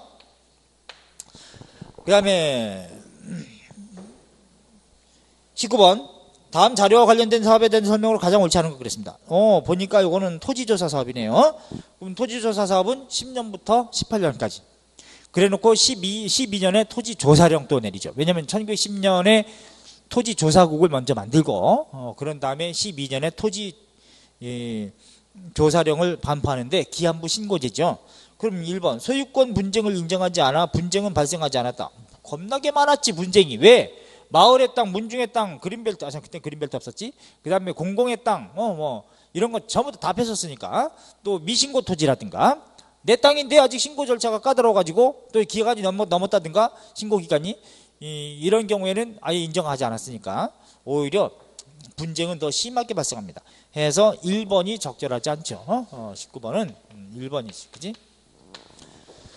자, 그 다음에 명의상의 주인을 내세우기 위해 어려운, 어려, 내세우기 어려운 동, 문, 동중이라든가 문중 토지의 뭐 상당 부분이 조선 총독부 소유가 됐다. 그렇죠?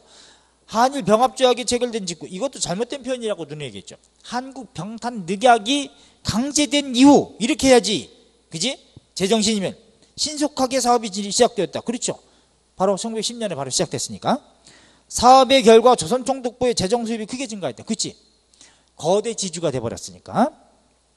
자, 20번. 다음 사건들을 일어난 순서대로 바르게 나열하라 그랬습니다.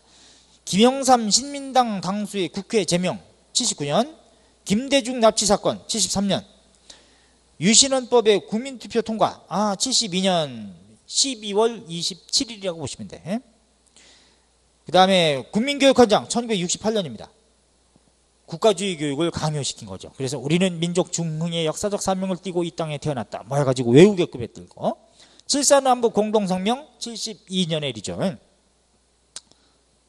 하기 때문에 라가 제일 먼저가 되네요. 68년 그 다음 마 72년 다 유신헌법 72년이긴 한데 칠사남북 공동성명 이후에 10월 달에 유신하겠다. 어, 헌법 고치겠다. 해놓고 어, 72년 12월 27일 날 국민투표로 이제 예, 개헌안을 통과시킵니다. 자, 이게 그러니까 순서상으로 72년이지만 다가 더 뒤가 되죠. 마보다. 그런 다음에 나 김대중 납치 사건 73년의 일입니다. 이 김대중 납치 사건은 이거 봐요. 이제는 71년도에 예, 대통령 선거에서 누가 붙었냐면은 71년도 어? 이때는 현직 대통령 박정희하고 어? 박정희 그 다음에 신민당 대통령 후보로 김대중 이렇게 붙었는데 아우 어? 각종 금권 선거 또 부정 선거 관권 선거 다 했는데도 90만 표 차이밖에 나지 90여만 표 차이밖에 나지 않아요. 그러니까 대통령 선거에서 이렇게 군사정권 시기에 100만 표 이하로 차이가 났다는 것은 이미 깨졌다는 얘기야. 어? 박정희가 이때 돈 얼만큼 뿌렸느냐면 현직 대통령으로서 이때 대통령 선거할 때 물론 나오면 안 되는데 69년도 삼선 개헌 어, 해버렸죠. 형이 했던 것처럼 이승만이 했던 것처럼 자기들 세 번 나올 수 있게끔 딱 한 번만 더 한다고 지가 약속하더니 예? 근데 71년도에 그래서 이제 예, 지가 나왔는데 이때 대한민국 1년 예산의 7분의 1을 선거 자금으로 뿌립니다. 예? 이게 공식적인 통계예요. 어마어마한 돈이죠. 1년 대한민국 국가 예산의 7분의 1을 뿌려댔어요. 선거 자금으로. 또 이때 지역감정 발언이 처음으로 나와. 박정희 대구 사범학교 다닐 때의 스승이었던 이효상이라는 사람을 국회의장 만들어줬는데 그 이효상이 대구 유세에 가가지고 딱 그래. 정권을 전라도한테 넘길 것이냐 이런 지역감정 발언을 최초로 합니다. 그게 국회의장이란다. 어, 그따오가 그 전엔 지역감정 없었어요. 어? 부산 또는 대구 경북 지역은 4.19 혁명의 시발점이야 거기가 왜? 4.19 혁명이 터지기 직전 3.15 부정선거가 터지기 직전에 그 부정선거 하지 말라고 2월 28일 날 60년 2월 달에 벌써 경북고등학교 대구고등학교 고등학생들이 먼저 들고 일으켰어 최초로 그런 진보적인 지역이 원래 대구 지역입니다 경북 지역이고 근데 왜 지금 그렇게 대구 경북 지역은 골 때리게 됐느냐 요게 71년 이후 그러니까 경제개발 계획에 의한 산업화에 의한 열매를 맺은 딴 거지. 예? 그래 놓고 그러면 걔네들이 그렇게 발전시켰으면 다른 지역은 어떻겠어요? 어, 지금도 조선시대 같은 곳도 있단 말이지. 예? 그러면 상대적으로 얘네가 그렇게 많은 도움을 얻었으면 그러면 나머지는 균형 발전을 시키서 이렇게 발전시키는 것도 인정해야지. 왜 자기네만 정권을 받으려고 하냐고. 잘못된 건 잘못했다고 얘기를 해야죠. 그죠? 그래서 박지 이 김대중은 보궐선거에서 강원도 인제군 보궐선거에서 최초로 국회의원 당선된 사람이에요. 거기가 지역 기반이 아닌데 예? 이 사람은 어- 어디 사람이에요? 전라남도 목포, 어, 신안 거기 출신이잖아요. 그런데도 강원도에서 보궐선거에서 당선이 될 정도로 60년대는 지역 감정 없었어요. 71년부터 공식적으로 나옵니다. 어? 자, 어쨌거나 그래서 이제 박정희가 김대중이 정치적 라이벌로 딱 들었 등장하니까 어 이런 형이 했던 것처럼 다 죽이고 싶은 거야. 그래서 김대중은 반체제 인사로 이제 일본에 머물렀어. 일본의 도쿄 그랜드 팰리스 호텔 2210호. 그랜드 팰리스 호텔에 묵고 있는데 중앙정보부 요원들을 보내서 납치합니다. 납치해가지고 공해상에서 죽여버리라 그래. 어? 야 바닷속에 넣어.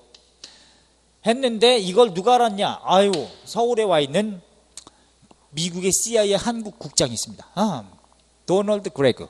그런 다음에 필립 하비브라고 하는 주한미국 대사가 이 정보를 알았어. 어? 어. 근데 김대중을 납치해 갔는데 이걸 일본 중앙 일본 정보부도 알았습니다. 근데 그걸 쉬쉬해줬던 거죠. 박정희가 워낙 친하니까 형제지간처럼 그래서 나중에 김대중이 97년 대통령 되고 나서 일본이 조마조마했던 거야. 아, 아이씨 이거 까발리자 그러면 곤란한데 뭐 이렇게 했던 거죠. 그래가지고 요 사실 알고 바로 전합니다 청와대. 예, 김대중 죽이지 마라. 무조건 살려라. 김대중 죽이면 미국에서 가만히 있지 않겠다. 원조 끊겠다. 뭐 이렇게 압박을 해. 그래가지고 아이 나씨 얘들 어떻게 알았니? 야 살려 해가지고 무전 때려가지고 살려 해가지고 쭉배 타고 와서 부산을 와서 이제 서울 동교동 어, 김대중 집에서 기자회견에 예? 막 여기 막 얻어 서진 거 표시 다 나고 어쩜 맞았어요? 이렇게 이제 예, 기자회견 한단 말이야. 예? 자, 요게 이제 73년의 일입니다. 아, 요러다 보니까 이제 73년도에 김대중을 납치한 거라. 아, 73년. 자, 그런데 79년도에 사건이 또 이제 의미 있는 게 있어요. 어, 79년도에는 YH 무역 사건이라는 게 있죠. 어, YH 무역 회사에 여성 노동자들이 데모하는데 이 YH 무역은 장용호라고 하는 YH 무역 회사의 회장 이니셜입니다. 용호. 어? 이 YH 무역 사건이 딱 터졌을 때 여성 노동자들이 음, 대- 여기 워낙에 한 5천 명 넘는 가발 회사였습니다. 근데 이게 점점 축소 축소 축소 축소 시켜가지고 한 400명 정도밖에 안 남았었는데 그것도 다 자르고 하니까 왜 우리 자르냐 해가지고 데모하는데 이제는 회사 폐쇄시키겠다 해가지고 폐쇄시키고 단전 단수 다 하니까 회사에서 농성하지 못하고 직장 폐쇄까지 하겠다 하니까 다시 찌게 될 것 같으니까 여성 노동자들이 여길 회사 못 들어가게 막으니까 경찰 병력 동원해가지고 어디로 가냐면 야당 그때 신민당 총재는 김, 김영삼이었어요. 신민당 당사에서 농성해달라고 허, 허, 뭐, 허가해달라고 얘기했죠. 그러니까 이제 김영삼이 허락했단 말이죠. 그래서 신민당 당사에서 농성을 하는데 신민당 음, 당사에 들어가서 농성하는데 이걸 강제 연행합니다. 그래서 연행하는 와중에 노조위원장 여성 김경숙 양이 사망합니다. 어? 지금 야당 당사에 막 쳐들어간 거야. 어, 그래서 김경숙 사망. 김경숙 양이 사망하고 이것 때문에 여론이 안 좋아지니까 국회에서는 야당 총재인 국회의원 김영삼을 제명해 버려요. 어, 어, 왜 거기에 농성 허- 허용했느냐 해가지고 김영삼 제명. 김영삼을 제명시키죠.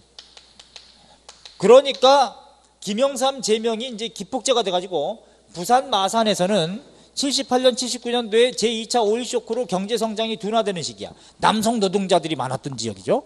여기서 노동 운동이 격하게 벌어져서 부마 항쟁으로 촉발되는 겁니다. 어? 부산 마산에 어? 음, 남성 노동자들 중심으로 이제 음, 노동 운동이 활성화돼. 부마 항쟁이야. 어? 부마 항쟁이라 그래. 어? 항쟁. 결국은 여기에 내려가라고 확인하라고 내려갔던 중앙정보부장 김재규가 10월 26일 날 갔다 오고 박정희는 삽교천 아산만 방조제 공사 완공하고 테이프 커팅식 하는 날이야. 10월 26일, 11일.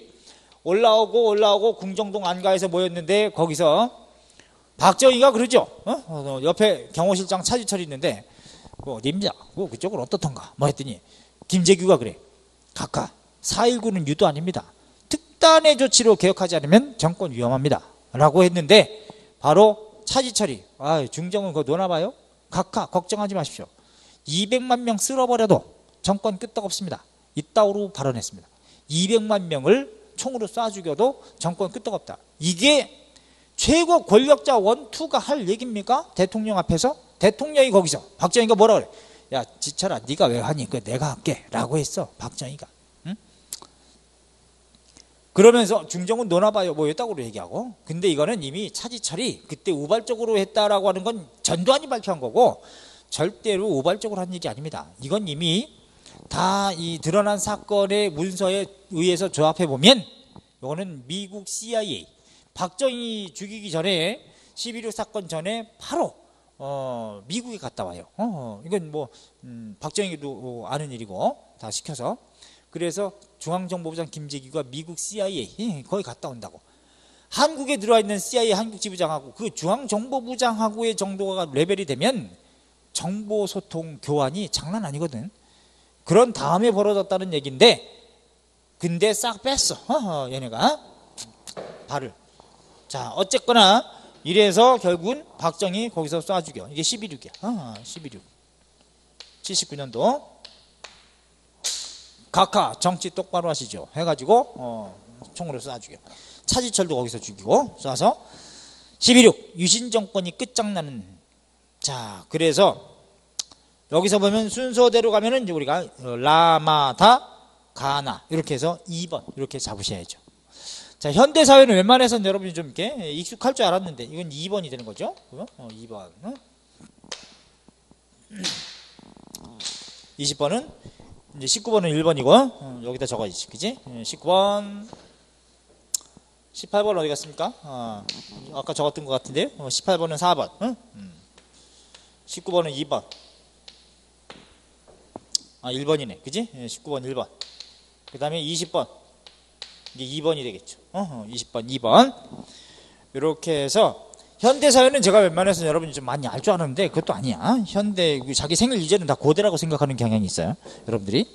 그래서 아, 이번에 보면 정말 격떨어지는 문제가 몇 개 있었다. 어? 아, 예컨대 고려 대장경 문제라든가 박용효 문제라든가 또, 어, 예컨대 아까 아, 책 문제 중에서 그냥 단순하게 외워대서 어, 맞추게 하는 이런 문제들은 아, 너무 좀 음, 국가적인 낭비가 아닌가 아, 이렇게 생각할 정도로 어, 서울시의 문제에 격을 떨어뜨린 문제였다 이렇게 평가할 수 있습니다. 자 그렇다면 앞으로 어떻게 공부할 것인가 어차피 어떤 문제가 나오더라도 어려운 건 똑같이 어려워요. 공부한 사람 입장에서도 그러면 85점까지는 누구나 평범하게 맞출 수 있게끔 냅니다. 근데 85점 가지고 합격하느냐? 네버. 어? 어, 85점 가지고는 합격 라인이 아니죠. 적어도 90점은 맞아야지. 또 다른 과목한테 좀 이관시키려면 평균을 넘겨주려면 플러스가 되려면 95점 정도는 맞아줘야 한국사에서는 그래야 다른 과목에게 좀 도움을 주고 평균이 높아지는 측면이 있으니까 적어도 한국사에서 두 개 이상은 절대로 틀면 안 된다는 결론이 나오죠.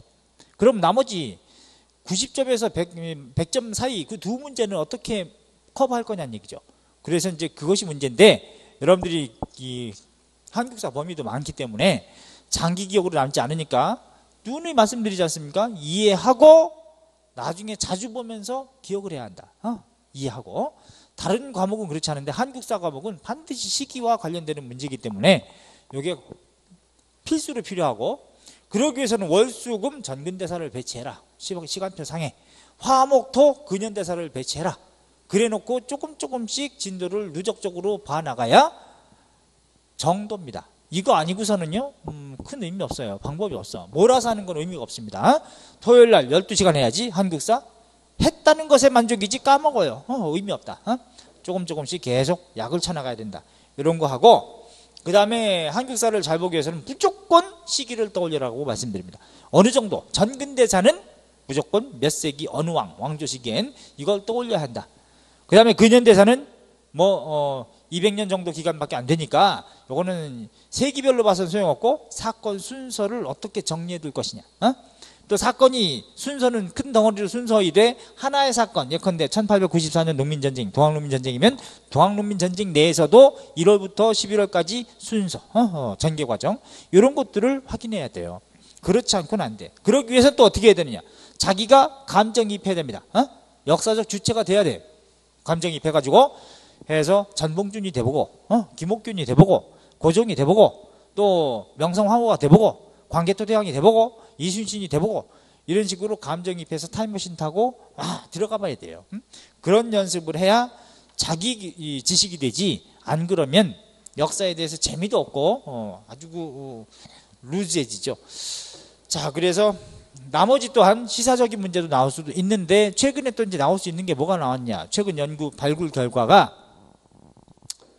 조선 후기에 한글로 만들어진 노비 노비들이 만든 계문서가 발견이 됐어요. 어? 그래서 아, 이 노비들이 만든 계문서가 최초로 발견됐기 때문에 한글로 상부상조하기 위해서 아, 이건 참 중요한 의미였다. 노비들도 이제 한글로 쓰고 막 그랬다는 거죠. 그래서 피지배층이 많이 썼던 것이 한글이었다는 것이 또 확인이 됐고, 물론 그 전에도 이제 여성 중심으로 내간체라 그래가지고, 어, 여성들이 이제 양반들 사이에서 쓰긴 했지만, 어, 거의 안 썼다라고 표현했지만, 이건 일상생활과 관련해서도 많이 쓰고 있었다는 것이 확인이 됐죠. 그래서 그런 것도 좀 나올 수 있고, 그래서 나머지 두 문제, 아주 어려운 문제는 저한테 의지하되, 또 한 안전한 85점 정도까지는 예, 누구나 다 맞출 수 있게끔 공부를 편하게 해 주셔야 돼요. 나머지는 이제 지엽적인 거는 저한테 맡기시면 되고요. 아셨죠? 자, 이렇게 해서 2016년도 서울시 9급 한국사 문제를 총평을 마치도록 하겠습니다. 여러분 시험 보느라고 매, 매우 고생 많으셨어요. 수업 시간에 뵙겠습니다. 수고하셨습니다.